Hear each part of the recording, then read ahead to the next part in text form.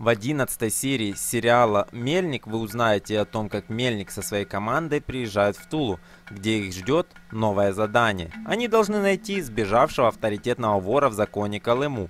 У Колымы свои планы, он собирает сходку для передачи общака, но его давние товарищи живут уже по другим понятиям.